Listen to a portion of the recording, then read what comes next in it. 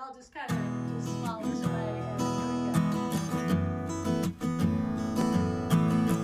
Welcome, everybody, to another episode of Outside the Box Stories. And I'm so excited to have my new friend Andrea here. I'm with Andrea Burlingham uh, from Kingsport. I'm, I'm in the Kingsport office if you guys can't tell, which you probably can't because I have no idea what the production team is going to put behind me, but I'm excited to see it. Uh, Andrea, how's it going? It's good. I'm doing good. I'm so excited to be here with you. Tell us, you know, you said you're a teacher before we started recording. Tell us about that. You're a second grade teacher? I teach second grade in Kingsport City Schools over at John Adams Elementary School. Have taught for this is my I'll be finished my 24th year at the end of this time. I know. Wow, congratulations. Know, yeah. 24th year. hmm That is amazing. And and give me the, the school again one more time. At John Adams Elementary School. Okay, John I- Adams in Kingsport. Mhm. I've taught in Kingsport. This will be my 15th year in Kingsport. And Okay. prior to that, I was in Bradley County and then Meigs County prior to that. What got you into teaching? Out of curiosity. My whole family are teachers. I Okay. come from a whole family, long line of teachers. My father was a school principal, kind of worked up the ranks. He was in the middle school, high school segment or a portion of it. My mother was a school librarian at the middle school level for years. And then my sister was a special education teacher and then became an administrator also. But I just wanted to teach kids, so I just stuck in the classroom and it worked for me. You know, I've noticed that. I, I've noticed that there are, you know, lines of teachers and families. Like uh, a lot of the teachers I know have parents and grandparents who are teachers as well. I there there has to be something just in the heart and soul, you know, because um, I, I know people who are just born to be teachers. It sounds like you're that. Well, yes and no. I started out working for the YMCA, so I did that for 10 years. Oh, okay. Had various jobs working for the Y. And then I went into teaching and went back to school and got certified to teach. So, along with that, I have four college degrees because of that, because I had to go back and get another degree upon a degree. So, it just works. So, You are way too educated for me. No. But y- you know what? so I hope you're not dumber after the conversation with no, me. I only teach second grade, so that's as high as we can talk, okay? well, uh, you, you know, this show is is all about you know stories. You know, in particular, health journeys. And uh, before we started recording, you have a really, really cool and inspiring health journey, and and I'd really like to talk with you a little bit about that. You know, like um, you've been a teacher for 24 years. Um, kind of walk me through when you started, when your health journey really began. Well, um, I for the first nine years it was smooth sailing. I didn't have any, you know, real issues. Came to Kingsport, not that coming to Kingsport caused anything, but just the way it was. And I knew about a year prior to coming to Kingsport, I guess, that I was going to have to have um, some uh, full hysterectomy. I had already been to my gynecologist in in in uh, uh, Chattanooga, and you know we had already done a cleaned me out um, to get the the endometriosis out and all that. And then, so about a year after living here, I had a full hysterectomy. And so, um, during that time period, I had been on the pill for um, a couple of years during that time period, and then after the the hysterectomy, of course, they you know left me on the pill to keep my hormones straight. But things began to um, just be off with me. It just was not right. I mean, I just it was I, was having a much more harder, more difficult as years went by. My my tenth, eleventh, twelfth year of teaching, fourteenth, fifteenth year of teaching, it just became harder and harder. Um, having the hysterectomy was a blessing, I'll say that. But it was after that that I began to kind of go downhill hormonally. But I, I say that now, I can look back and tell you it's hormonally. At the time, I didn't know that it was uh my hormones. Sure. I just knew that I didn't feel right, that I, it, things just weren't right with me, or like they had been. So, uh, what? How old were you when you got your hysterectomy? I was. Mm, that's a good question. I had to be in my late 30s, early 40s when I got my hysterectomy. Okay. Maybe a little bit lo- older than that. Maybe about 45, I guess, because I would be, that would be, yeah, about 40. Uh, yeah. Okay, so around 45 got Mhm. the hysterectomy, and then, you know, in the hysterectomy being a complete blessing, you're saying so like you lived life after that. It- Was it immediate where you immediately where you just didn't feel good? wasn't immediate. It was over time. It just gradually i just didn't things just weren't clicking for me like they had been. You know i could go to the gym and work out for a period of time and then it still didn't feel right. I could you know my it just life just wasn't the same. And i got into a work situation that was that was challenging at the time. Sure. um, you know, not all um, work relationships are, are, you know, are good, but so it was a little bit challenging at the time. And I literally just over from the August of about seven, eight years ago, I just fell apart. I came in one, I remember it well. It was a Friday night, and we had had a meeting with several, you know, important people at school, and, you know, the principal and several people. And I couldn't answer the questions that they were asking me, and I just fell apart. And I came back to school that afternoon. I actually, didn't leave until late. And um, I talked to a friend of mine and just fell apart emotionally. I just, I, you know, that was the end of it. The year that that particular year, the students that I had, there wasn't anything wrong with those students, but everything in my mind was wrong with those students. But there wasn't a thing wrong with them. They were just being who they were, and they, you know, like with every class, they have some challenges that are that are presented, like you have with every single class that you have. And so I couldn't deal with I couldn't deal with them with discipline. I didn't know what to do, yet I did know what to do. And, you know, but I, I, just, I couldn't even think. I couldn't even think straight. It's hard for me now to think back because when I go back to that, it really brings up anxiety for me because Sure. it was very traumatic for me. I came home on a Friday night. My husband was in our sunroom, and I just sat down in the hall or in the doorway there. We have at the time we had a dog, Tiamat, and she's just looking at me, and I just fell apart. I couldn't, you know, I was crying. I couldn't talk. I couldn't even tell him what was going on, and it was it was not good. Well, was it was it more because you didn't you didn't understand what was going on either? Is I didn't that- understand what was going on. I couldn't tell you. I just know that I was sad. I was upset. I couldn't function at work. I couldn't tell him. I couldn't tell my husband Robert what was going on. I couldn't tell my friends what was going on. I, I just shut down. I shut down emotionally, psychologically. I just shut down. And I had no idea at the time that it was hormone related. I hmm. did not, I couldn't have told you that then, or I, I can now, but at the time when I was going through that, I can still see myself in that doorway. And I didn't think it was hormone related. I just thought, you know, that I've got a tough class. I don't know what to deal with. I've got, you know, being asked questions. I don't know how to answer. You know, I've been thrown into a situation. I don't know the answers, and you're asking me for them, and I don't know those answers. And what do you do?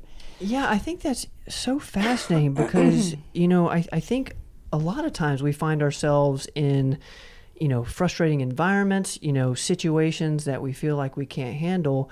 You know, I'm interested, what I'm gathering is that you before were able to handle you know tough classes um, you know these meetings with with you know people at school that you, you needed to present to or whatever and then you know all of a sudden it just it was something that you weren't able to do is that was it like an immediate thing It wasn't immediate. I, I, I can't say that it was immediate. That the particular class I had, there were two or three little students in there that had come from some broken homes, mm-hmm. and and they were, you know, there were some issues that they were dealing with themselves, and I, I you know, I, I just didn't know how to. I knew how to deal with them. I know how to do it now. Look back on it and say, oh, that's an easy fix today I can look back on it and say that, but at the time, my mind just wasn't right. I don't know how to describe that other than I just did not know how to handle that situation in the, that moment 10 years ago. so you said you, you, you didn't know it was hormonal at the time how did you cross that chasm like how did um, when did there start to be some answers? Because I, I can totally feel what you must have been fe- feeling at that time in the sense that you don't know what's going on. You used to be able to do something that now you're not. You know, kind of tell me how you crossed that that that bridge. Well, that following Monday, this was on a Friday, and so I spent the weekend thinking, "Oh my dear, what am I going to do? I've got this class I've got to go back to. I have a full-time job. I can't quit working. I've got to have income coming in. You know, I mean, I, you know, I've got to have all that." So I had a, a my my husband and a very dear friend come in, and we decided that on that Monday morning, um, I asked to see my go to my doctor. So I just took um, that day off, and actually I took that following week off. And during that week, um, I talked with um, the HR director um, at the time, and we determined that it, the best term, best thing for me to do was go to see my my personal doctor, uh, my health doctor um, in here in Kingsport. So I went to see her, walked away from that, and she determined that I needed to be on antidepressants at that time. Probably was the wisest thing at the moment, uh, and I uh, applaud her for that. That was that was a great decision. So I went on the antidepressants. In that week, also, we decided decided that it was probably best that I take an FMLA, you know, a Family Medical Leave Act. Did not know exactly at the time how long it was going to last, but that was from my doctor. She said, You need to take some time, you need to rest. The other thing that I wasn't doing is I wasn't sleeping either. Mm. I, I went through a period where I'd go to bed at night, but I couldn't stay asleep. So I wasn't sleeping at all. So sleep was affected by it. Every aspect of my life was affected by this. My eating habits, my sleep, everything was affected. No matter what I did, I couldn't get it right. I couldn't, you know, I couldn't function. So uh, my doctor said, "Let's get you some rest and get you know get you." So I went on uh, the antidepressants, antidepressants, and I also went on. Uh, she gave me a pill to help me sleep at night, which was a blessing at that moment in that time. That was the best thing for me.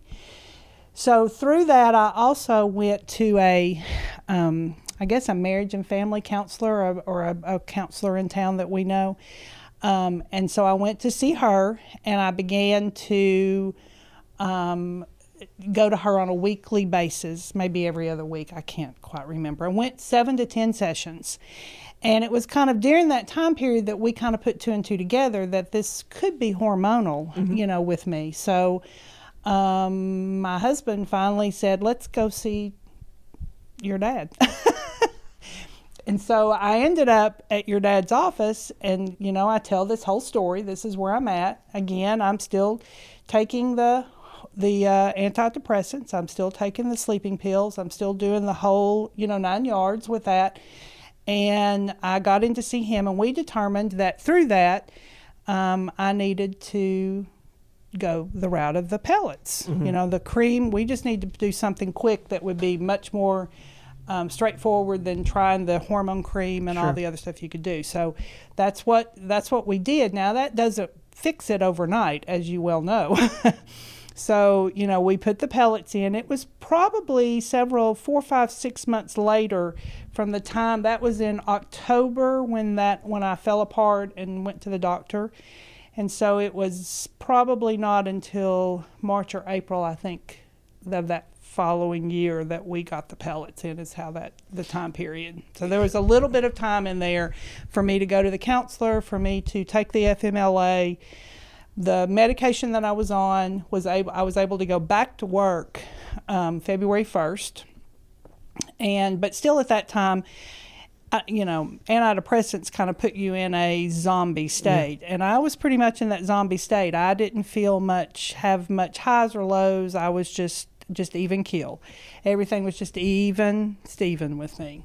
So Yeah, well, first of all, I, I just got to applaud you because, um, you know, this show's called Outside the Box, and and it just feels like, man, you were you were gonna do whatever it took to to start feeling like yourself again, mm-hmm. and you tried all these different things with you know success in a lot of them, and and I feel like that's so much of it is like knowing that you can feel better, knowing that this isn't normal, and doing things kind of moving in that direction to get back to, to where you want to go or you know moving forward in some way so i'm, I'm super like i just so proud of you that's that is a journey Well, thank you. And there's probably a little bit more to the story too as I sit Sure. here and kind of think back on it. Um, during that time period, you know, when I first that Oc- that day in October, it was in Friday. It was late in October. It was the end of October near Halloween, um, and that I, you know, I didn't. I kind of went through a time period where I wasn't really sure that I really even wanted to be here in the world. So, you know, I, I went through that.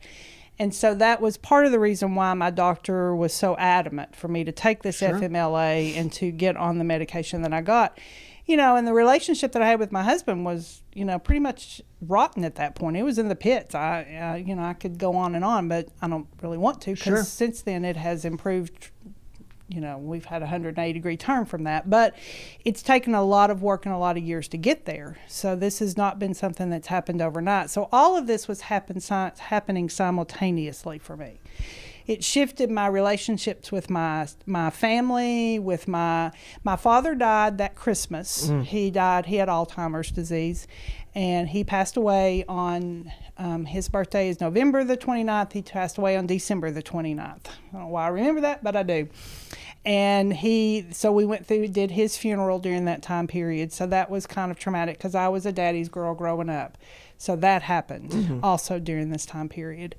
And so the finally when i got to the hormone the pellets things were not great but things were getting better. And so i got on the pellets I was um, still taking the hormone, uh, excuse me, the antidepressants, and I was still taking the um, uh, um, the antidepressants and the sleeping pills. I was still Yeah, doing all yeah. of that, still taking all of those medications during that time period. And it was probably in uh, a year and a half later, I think around a year to a year and a half later, that um, I finally realized that hey, you know, I'm I might need to be able to be able to get off of the antidepressants because I didn't want to be on that forever and a day. It's just not something I wanted. And I remember my husband saying, Andrea, y- you need to go talk to your doctor, not to Tom because he hadn't prescribed them, but to my regular medical doctor, mm-hmm. or not that Tom's not, but to my Sure, my yeah. my other I have two doctors anyway.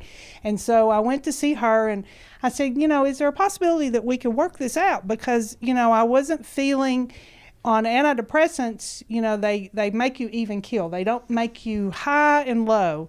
And I've always been a person that's got high energy and, you know, I laugh and I cut up, you know, and I have my low moments too, but I think for me they just feel normal. Yeah. So we weaned me off of the antidepressants. We weaned me off of the sleeping pills, and so now I, I'm kind of excited because I don't take any medication except for the hormone replacement and the Synthroid for my thyroid. I'm gonna have to fist bump you on that one. No, that that's amazing, and and you know I, I think so many people can learn from that as far as being intentional. You know, being intentional with how you want to feel, what you want to be on, and what you don't, what you're comfortable with, and what you're not comfortable with, and and I just love how you were able to look at all this through very difficult times, and and and it's, it's a story I, I hear a lot of where you know, a lot of things come at us at once, it seems, you know, and, um, and it feels like low hormones kind of happen at that same time based on based on what I've seen. And, and like how did you get through that? You know like all this stuff coming at you with your dad you're just starting something new you know relationship on the rocks. Because you know I talked to you before we we hit record, and you are, I mean, this girl is about as positive as it gets, and all we've been doing is laughing, and you know I'm just so impressed. You know, for the people out there who you know are going through you know tough period, it might be hormonal, it might be a combination of it all. You know, what would you advise them to do? Is it just the seeking part that you can really, you know, advise? I, I guess I think it's all of the above. Uh, You know, I, I didn't realize the impact that the counseling that I went to had.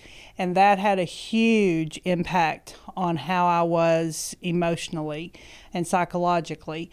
Uh, I had a really good support system at home. I had my husband and a very dear friend that came in and would sit with me for hours on end. You know, my poor husband, he's heard me say things to him that I would never thought I would ever say to anybody. And I said them. And you know, and I don't always remember everything that I that happened to me during that time period. I just know that it was really rough, and I know I didn't like it. Um, and I know that I there were many days I just wanted to walk out. I wanted to give up on this because who wants to be in a relationship like that? Um, but I'm thankful now that that did not occur Yeah. because I have a great relationship now. My friendships are really solid now, and you know, and I, I just, I guess it was just a combination of things. I began to be very intentional at going back and working out, Yeah. and you know, and getting This that post aspect. starting hormones or or I- I was- uh, therapy. The working out part of it. Yeah. Working out for me is like riding a roller coaster at times. to be honest with you, I am really good at it at times, and I am not so good at others. Hey, I hear you on that one, and you're And- not the only one. Yeah, and I'm that way with the, with that with my whole life. So I I can't tell you that it was post or pre. I couldn't tell you because I've been through a roller coaster on that business. It was one or the other, post or pre. It, it was both. that part of it, but I can tell you during that time period that I was not working out and I started working out again and I Yeah. began to see, you know, the spiritual aspect of it. You know, I began to be more intentional about, you know, realizing the FMLA helped because I was able to get sleep and then when the Sure. sleep helped then I was able to see this the other aspects of my life. So that the sleep was a big factor in that. That's amazing. Yeah. And I, I do want to ask, you know, give us a little glimpse of, you know, post pellets. You you got on hormones. Um, tell us some of the the differences between a before and after. I wouldn't go without them now. There's no way. You can't convince me not to have pellets. I don't care if I'm 85, I'm going to have my pellets. they just, it, it is a huge difference in how I feel, my energy level, my, you know, my desire to want to have friends and relationships. It's just good. I, you know, I feel like things are back uh, normal. You know, uh, what is normal? I don't know how to Right. define normal, but it, things are just even for me. I mean, it's, you know, I have those normal highs and lows you have. You know, things are going to happen in life where you're going to go through tough times and, you know, you're going to maybe cry. You're going to, you know, be sad on things. And those I think are normal, but how you come away from that on the back side of those things. And so, So, I- so I, I do have a question in the sense like because that is so normal, you know, like we, uh, you know, life is a roller coaster and we, we get sad and, you know, we have, you know, tough relationship stuff and because, you know, it's, it's just life. How do we, you know, how do you know when it's like a hormonal thing or when hormones can help? Just out of curiosity, because I, I truly don't know. how hormones can help. Well, I can tell you this that at the end of, I have hormones every four to five months. And since I have been having getting the hormone replacement for approximately seven, going on eight years, it may be nine, I, seven, seven, eight years, I'm now to the point where like I just had my hormones put in about two weeks ago, and I can tell that I'm on an upswing, and it's wonderful. You know, I'm not as irritable, I'm not as mad. when things come at me, I don't get the I don't get all bent out of shape about them. Two to three, four weeks before I need pellets. You know, I can be driving down the road and listening to a song, and then the commercial can come on with, um, I don't know, some sappy commercial, and I'm in tears. Well, that's not, you know, you know, so I, that's when I know that I'm not feeling exactly right. And I'll even say to my husband, you know, I'm, I'm telling you now, I, just two to three weeks, you know, I'm going to be tough here because Yeah, I've yeah, got yeah. an appointment on, you know, so and so day, and and I'll I'll go get my pellets put in, and then I know I've got about two weeks. But so it's just uh, I've learned what it feels like. But I think also too, having come off of all that medication has helped me to know what my body feels like, and I begin to understand what I'm feeling inside my body, and that was important to me. No, that yeah, just kind of learning. Okay, when it might be time, when it's not time, that sort of thing. Yeah, it was for me. It's learning how I feel in that when I know that my hormones are going down, when I'm low, when I'm not feeling right. I don't respond to things in the same way. I don't ask questions in the same way. I know I can become much more direct when I'm not when I don't have as many hormones in me. And then I find that I'm much more introspective. I'm much more. Um, I can think clearer, and you know, when something hits me and I don't, I don't quite understand it, I'm not reactive immediately when I'm at a good level, which I stay at a good level most of the time. So I don't think that you Sure. know, it's only two or three weeks prior to Sure. my hormone, uh, not having hormones. But I also think that not being on many medications has helped that too. So I've had. um, another thing that happened to me kind of during that time, I guess I didn't should have told you this too, is about a year, um, I guess after that, I had. I had C. diff too. I don't know if, if you you probably know exactly what that is, but it's from antibiotics and too many antibiotics, or it causes the chemical imbalance in your stomach.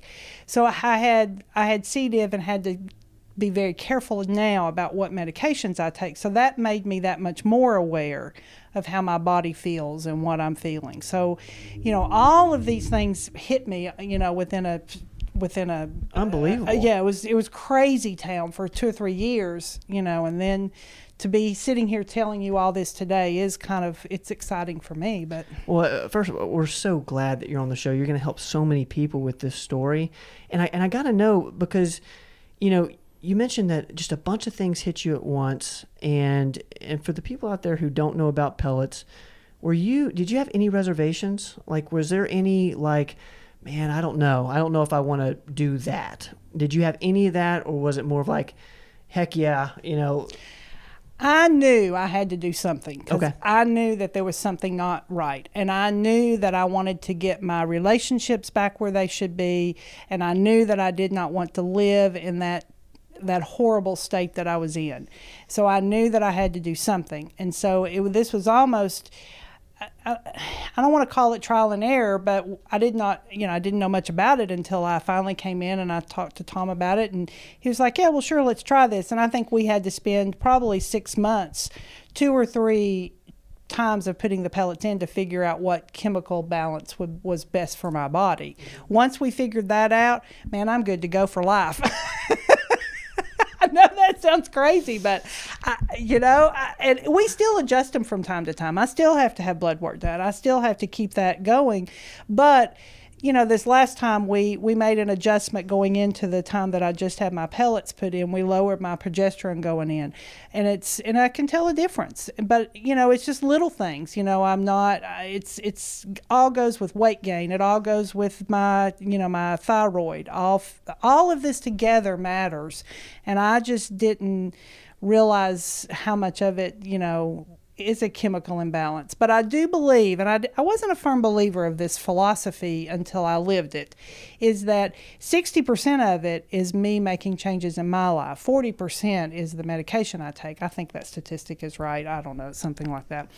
So, you know, just because I have the hormone replacement, it's also a mental, Sure. emotional desire on my part to want to make that shift. Well, and one thing I have to say, and like you know, through talking with you, is so clear to me that like you're the one in the driver's seat here. Like you're the one who's taking control of your own health, and you know, really, performance medicine and Dr. Rogers are just kind of there right beside you, you know, guiding you on. But it, mm-hmm. but I think a lot of people can learn from that. You know, mm-hmm. like you're really speaking as your own doctor, like someone who's treating yourself did that is that something that you learned or was that something that you did out of necessity or have you always been that way All of the no, I learned it out of necessity. So it's Yeah. something that I've learned in the last because for the longest time I thought a pill would solve me, solve the problem for me, and I learned quick that oh no, pills don't just solve the problem; they can treat the symptom, but they're not going to solve the problem because if I don't do something about if I don't change something, then that symptom is going to be there the next time, and it's going to be that much worse, and it's going to be that much worse the next time. Now I have to say I'm human. I don't always live by that, but that's I try. Just human. well andrea you are doing absolutely amazing and you have inspired me and so many out here. I can't thank you enough for being on outside the box stories. You're welcome. thank you so much. Andrea burlingham i am ben rogers. We're going to end it there. This has been outside the box stories. Thank you guys as always. We'll see you next time